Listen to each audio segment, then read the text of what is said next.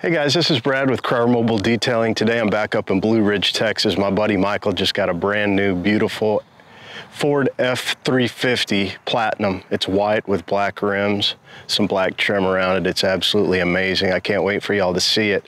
So he wants a ceramic coating put on it, and I want to use a product that's new to me. It's been out a while, but uh, Crystal Serum Light.